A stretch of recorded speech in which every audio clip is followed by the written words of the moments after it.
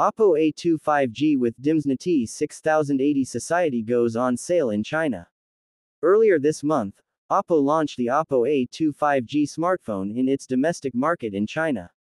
What made this device attractive is the fact that it is the most affordable device with a 512GB storage option. Now, the smartphone has officially been made available to purchase in the country. Starting today, the device is officially available to purchase in China in three color options black, green, and violet. Interested consumers can make their purchases through Oppo's official website and JD.com. The Oppo A2 is presented in two storage configurations 12 GB plus 256 GB, priced at 1,699 Chinese yuan, tilde dollar 233, and 12 GB plus 512 GB, available for 1,799 Chinese yuan, tilde dollar 247.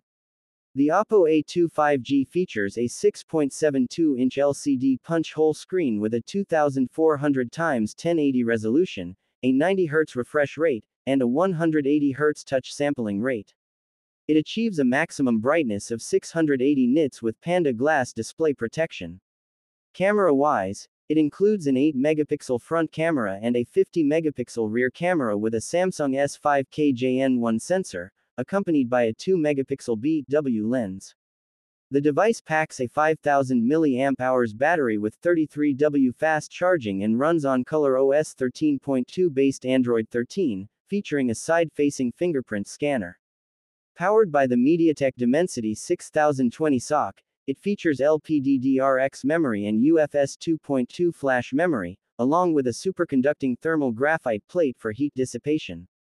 Connectivity options encompass Wi-Fi 5, a USB-C port, stereo dual speakers, and a 3.5mm headphone jack.